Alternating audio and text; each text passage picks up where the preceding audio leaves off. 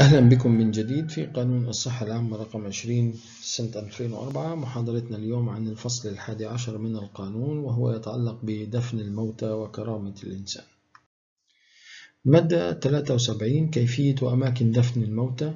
يحذر دفن الموتى إلا في الأماكن المخصصة لذلك في المقابر التي تعدها البلدية أو بإشراف الجهات المختصة ووفقا لأحكام القانون والقرارات الصادرة بذلك. وهناك شروط لحماية كرامة الإنسان وخصوصا دفن الموتى في الأماكن التي تخصص لهم فقط.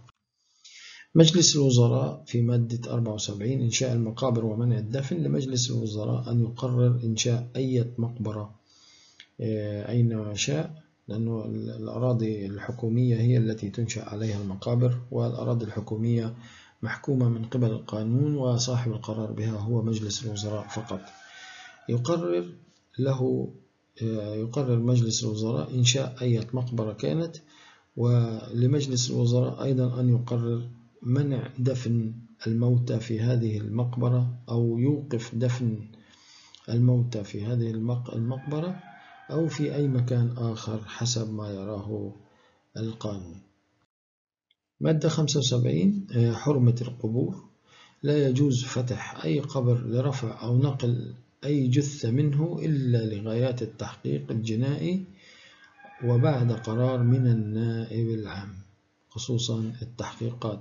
لكن إحنا المسلمين ما بنعملش الشيء هذا طبعا لأنه في امتهان لحرمة المقابر وحرمة الأشخاص المدفونين فيها إلا إذا كان الدفن للأقارب فقط. وهذه عادة قديمة يمكن بطلوها الناس شوية فما بيفتحوا القبور الآن إلا إلى إلا إلى في غايات التحقيق الجنائي فقط عندما يريد أن يثبت المحكمة أن هناك جناية معينة ممكن ياخذوا الدي ان اي أو شغلات يعني وراثية من الجثة الموجودة في القبر أو التحقق من الجناية التي ارتكبت والمخالفة. ولكن دون ذلك لا يجوز فتح أي قبر لرفع أو نقل أي جثة منه إلا بعد قرار من النائب العام.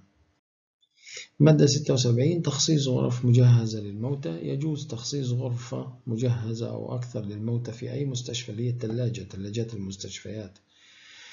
بهدف حفظ الجثث لحين دفنها أو تشريحها أو نقلها. يعني الوفاة في المستشفيات لا يجوز أنه أنت تبقي الجثة كده هيك يعني يتم امتهانها وإهانة هذا الجسد فيجب إنشاء غرف خاصة مجهزة يعني ثلاجة أو أكثر من غرفة للموتى في المشافي بهدف حفظ هذه الجثث لحين أن يأتوا إلى وقت دفنها أو إذا كان هناك جناية معينة يريد أن يعرفوا سبب الوفاة يتم إدخالها للمشرحة تشريح أو نقلها إلى المقبرة أو المكان المخصص لها. مادة 77 إصدار اللوائح الخاصة بنقل الموتى. وزارة الصحة لها أن تصدر لوائح خاصة بنقل الموتى من مدينة إلى مدينة أخرى وكذلك من فلسطين وإلى فلسطين. يعني تصاريح الدفن اللي بنسميها تصاريح نقل الوفيات اللي بتيجي من بلاد برا وحابب إنه أو موصي الميت إنه يدفن عند أهله ومات عندنا هان. فبنطلعه من فلسطين بأوراق خاصة. وكذلك الناس الفلسطينيين اللي بيموتوا برا وبيوصوا أبنائهم أو عوائلهم أنهم يدفنوا في أرض فلسطين فيتم نقل الجثث إليها أو الموتى إليها بتصاريح خاصة تصدرها وزارة الصحة. شكرا لحسن الاستماع والمشاهدة.